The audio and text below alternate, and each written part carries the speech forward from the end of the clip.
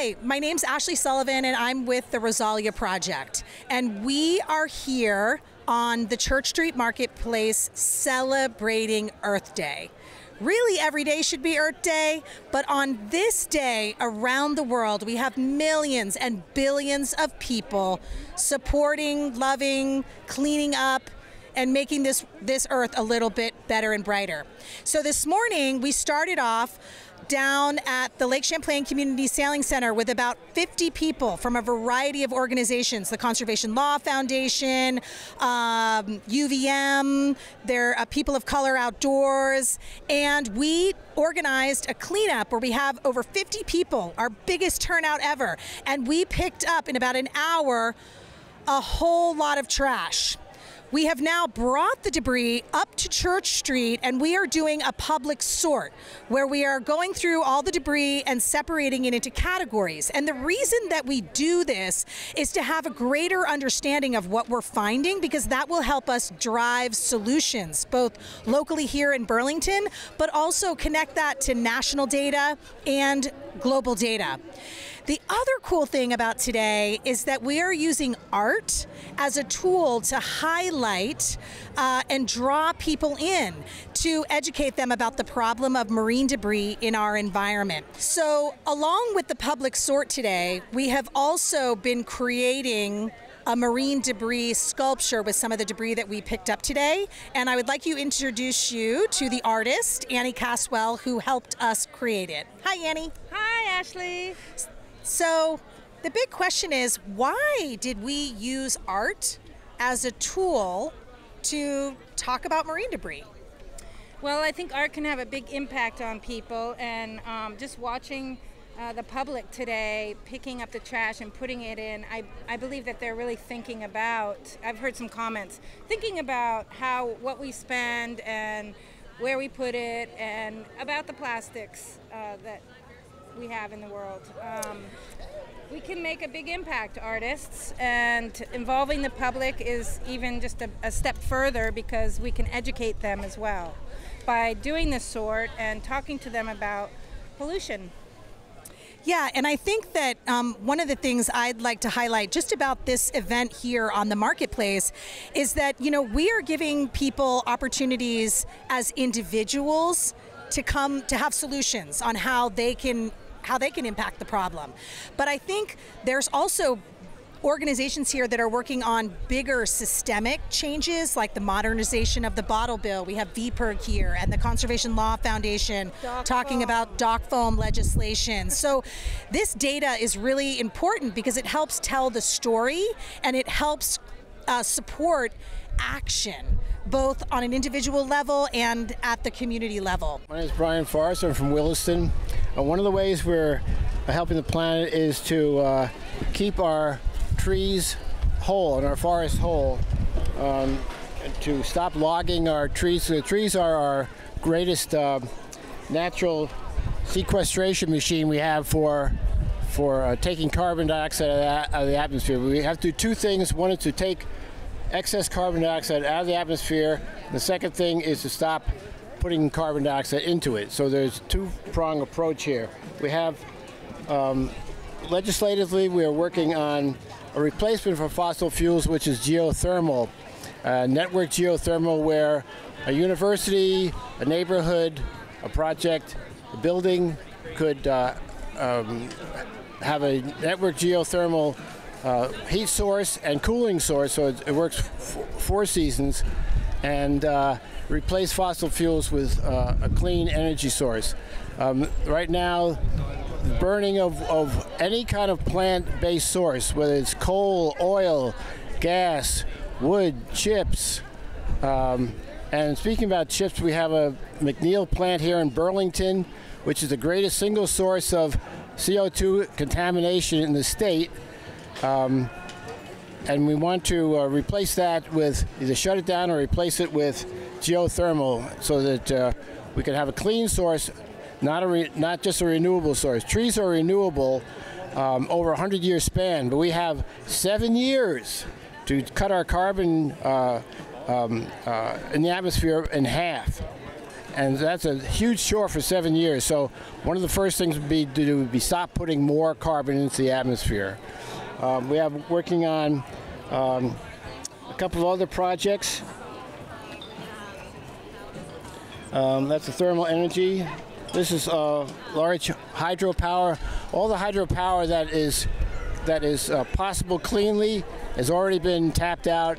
Um, the largest source of, of our energy, electrical energy, comes from Hydro-Quebec in Canada, and they're always looking to expand that uh, source, which covers more um, more uh, vegetation mass, producing more methane in the atmosphere, taking away indigenous lands and disturbing uh, tribal uh, customs and the wildlife paths. It's a it's a bad source for for clean energy. Hydro itself is clean, but uh, large hydro like Quebec uh, is not clean. Vermont is the only state in New England that allows um, Hydro Quebec to be considered a clean energy source. And the same thing goes true with biomass. None of the other New England states allow biomass to be counted as um, a renewable energy source, a clean energy source. And biomass is what I said before. Any of the any of the plant-based fuels, we can't burn anything anymore. We need to keep our trees. So, what about three, what's 350 Vermont?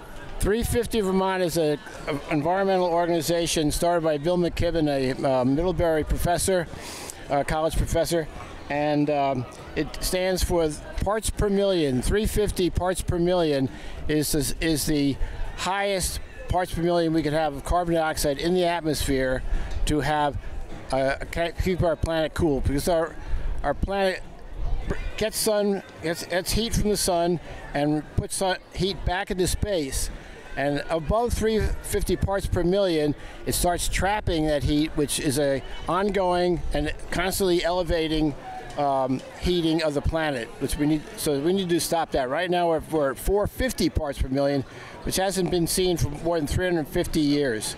So 350 is the parts per million of carbon dioxide in the atmosphere. So if you're interested in becoming involved, I believe, as I said earlier, please go to our Facebook page. We have, uh, or actually the 350vermont.org web page will, uh, will direct you to ways that you can sign up, send a message if you are interested in joining us at whatever level of, of interest and capacity you have. We would welcome you. Uh, one thing I want to add is that 350 makes uh, fact sheets for people to learn, and Brian was showing you one of them, so people can learn about the different issues and then be more effective in going in and talking to legislators. Also, we have people who are members can kind of start their own project, and one of the projects we have going is a cleanup of the, the Pine Street Barge Canal in Burlington that is a Superfund site and has been poisoned by a coal gasification plant and a bunch of other industries. And so that's a project people can get involved in. And then working together with an organization that is trying to prevent logging on state lands. Uh, my name is Kitty Ufford Chase, and I live in the Northeast Kingdom of Vermont, the beautiful country up there. And I'm here in Burlington for the Earth Day Fest because I'm concerned about climate and the future of our planet for next generations and for all living creatures. And I'm here because I recognize that humans are part of the earth and not separate from it. We belong to the earth. The earth doesn't belong to us. So I'm here with a group called Citizens Climate Lobby. It's a national advocacy organization for people who want to talk with their members of Congress and encourage them to take the action that we know needs to happen in order to address the climate crisis. And that's especially to try and keep fossil fuels in the ground. So we're encouraging our members of Congress to enact a carbon fee and dividend. And that means taxing polluters of carbon and using that money to send back to families all across the United States. Some other priorities of Citizens Climate Lobby are building electrification, healthy forests, and permitting reform. And I actually borrowed this idea from somebody else to create a climate anxiety counseling booth in the spirit of Lucy Van Pelt and, and Charlie Brown because I think we need to talk about it. So many people are concerned, but they think other people are not. But we are, we all are concerned. And so we need to talk about it and talk about our fears and talk about what we can do to make a difference. Because I believe that action is the antidote to anxiety. Hi, everybody. My name is Christina Erickson, and I am the new executive director at Local Motion. We are a statewide organization based here in Burlington, Vermont, and it is our mission to make it safe, fun, and accessible for everybody to walk, bike, and roll in the state. So we provide technical assistance to town committees or walk bike groups on how to make their roads safer, and we can do pop-up demonstrations with temporary bike lanes. We teach kids all over the state how to ride bikes safely, and then we operate the beautiful and beloved ferry, bike ferry that runs across the cut and the causeway, and that will be opening up at the end of the month of, of end of May and we rent bicycles at our Trailside Center located down on the waterfront here in Burlington. So come on over, rent a bike, get out there and enjoy the season. Hey, my name is Sam Glickman. I'm here with Vermont Green Football Club. We are a local minor league soccer team based here in Burlington, Vermont. We have events in the summertime uh, over at UVM's Virtue Field. We have 10 matches this summer. Tickets are on sale now at tickets.vermontgreenfc.com. We are built on an environmental justice mission, so we try to embed environmental justice and environmental sustainability and social justice in all club operations as we build a local soccer team here. We uh, recruit players from across the United States into our team. Uh, we're part of a developmental league called USL League 2, and uh, we really help these players get seen by professional clubs around the world as they chase their aspirations of becoming professional soccer players. Uh, really excited to be building this in Vermont for and with our communities, and it's our community partners that really help us make this all happen. So come out and support Vermont Green Football Club this summer. First match is May 26th over at Virtue Field, and we'll have games running through mid July. My name is Molly Feldman, M O L L Y F E L D M A N and I'm the environmental associate at VPIRG. That's the Vermont Public Interest Research Group. And VPIRG is the state's largest environmental and consumer protection advocacy organization. Um, our team of advocates works in Montpelier in the State House, pushing for policies that promote clean air, clean water, democracy, consumer protection, protecting Vermonters from toxic chemicals, etc. And we have grassroots power behind us 50,000 Vermonters and supporters um, who we've met over the years doing our door to door canvass operations. So I'm here today for two reasons. One is to recruit folks to do that door to door grassroots canvassing with us this summer um, so that we can mobilize Vermonters and form them statewide and get a lot of people power behind these campaigns. We're going to be canvassing on making big oil pay for the cost of climate change. They made the mess, they should help pay to clean it up. Um, and in 2021, we had our canvass on the bottle bill. These were our t shirts that we used. Uh, the bottle bill is Vermont's most successful. Ris- the Bottle Bill is Vermont's most successful recycling program. It's that five cent deposit that you get back when you return your carbonated drinks and your beer. It's really good at turning bottles into bottles and cans into cans, but it hasn't been meaningful, meaningfully updated in 50 years since we first passed it in 1972. Now we have water bottles and Gatorade and sports drinks and juice and wine and tea and all of these other containers that um, unfortunately often get landfilled when we throw them in our single stream blue bins. Um, so we have a bill, H158, that just passed in the House a couple weeks ago, and now it's moving through the Senate. And this bill would make important updates to the bottle bill program and expand the scope to cover all of those beverage containers that it currently doesn't cover, so we can get the full you know environmental benefits of the program and it also makes other improvements to support redemption centers and businesses and consumer convenience so everybody has access to redemption Hi, I'm Julie Silverman, and I work for the Conservation Law Foundation. I have the fabulous job of being the Lake Champlain Lake Keeper, and we're here on Earth Day to share what we've been doing on uh, Earth Day, picking up trash on the waterfront with a lot of great volunteers. And we're really trying to understand what is it that is in our environment that is causing all sorts of pollution and problems. So that's part of my job. We've been picking up things like foam out of the water, um, horrible uh, lids, trash, picked up a whole bunch of clothes, um, construction debris, and uh, what we're doing is we're now sorting it and counting it so that we can better understand where it's coming from. Where is all this trash coming from that's ending up in Lake Champlain so that we can stop the production of it or eliminate a lot of that waste. And we are at CLF working on legislation in order to do that. And one piece of legislation that we're working on is a way to improve our bottle redemption program in the state. We have a great program, but we know we can make it better. And water bottles are just one example of uh, waste that we find all over our, the roads. We find it washing into our storm drains and it ends up in our lakes and in Lake Champlain. So if we can put a, a value on this and get people excited about collecting it and returning it like you would normally do with a soda can, then we can get rid of all of this plastic debris out of the landscape, out of our environment, and also get rid of it out of our landfill because our landfill, we have one in the state of Vermont, and it's just filling up. And this is a plastic is a resource that we shouldn't be wasting, and we shouldn't be making any more of. And what we're finding also uh, over with the debris is that most of our garbage that we're finding is plastic, whether it's a cigarette butt that's plastic or we find um, bits of flip flops, or we find food wrappers. All of that is made from plastic. And so at CLF, we're trying to figure out ways to reduce all of that waste to make it a, a safer, happier, healthier place for all of us to live. And that includes people and turtles, fish, frogs, snakes, and all of the other animals that we care a lot about in Vermont. Hi, I'm Deb Sachs from Net Zero Vermont, and we're here today at this wonderful Earth Day fair on Church Street uh, with uh, the Walk to Shop project.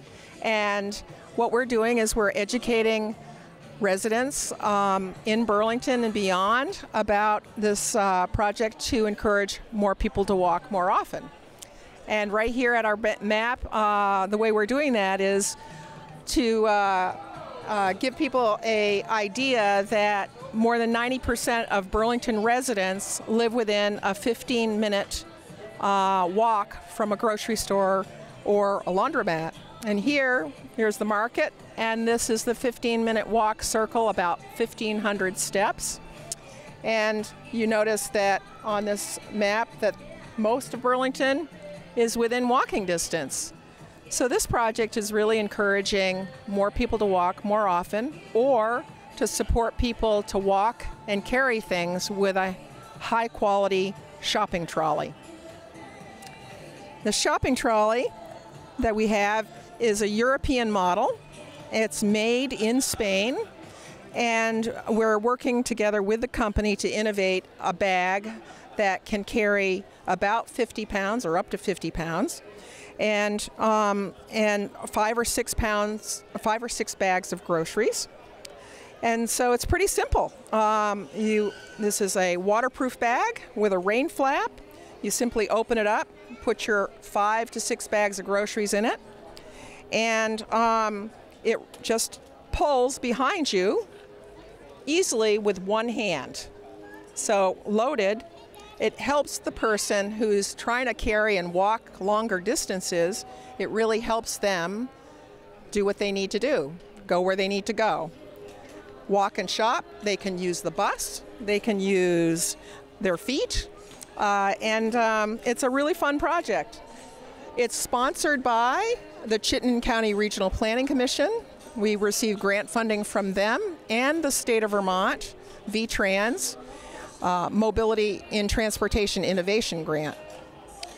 Um, people can get a trolley pretty easily from us by calling or contacting us at netzerovt.org or phoning me. I'm Deb. Um, I'm director of Net Zero Vermont and, uh, and working with some great volunteers and folks to promote this project. Curb Resource Collection uh, we're a new residential waste hauler in the area. We currently service Shelburne, uh, Burlington, South Burlington, Williston, and Essex.